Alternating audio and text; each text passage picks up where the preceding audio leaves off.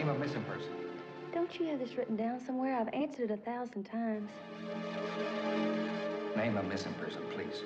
You've been in touch with our embassy down there? Well, Senator, all they seem to know is that my son is missing. Date of disappearance. He's been gone two weeks. He could be hurt or tortured.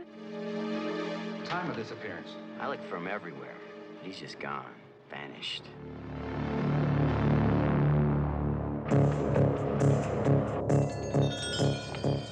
Analyzing all the data, we still come to the conclusion that he must be in hiding. You know damn well he's not in hiding. Our whole neighborhood saw him picked up by a goon squad. I don't want to hear any of your anti-establishment paranoia. Why don't you just go home? I'll find my husband by myself. Where is he? He's in the north. He should be out of the country sometime next week. There's another theory that your son was picked up by leftists posing as soldiers. There are even people who think it may have been his idea to make it look like they're arresting Americans. They are arresting Americans. What stupid thing did Charles do? He was a bit of a snoop. Your son's a pretty popular guy around here. Poked his nose around in a lot of dangerous places.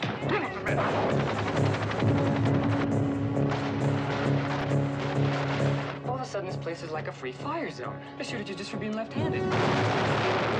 If you had stayed where you belong and paid a little attention to the basics, this never would have happened. I don't want to fight with you. I just want to get Charlie back.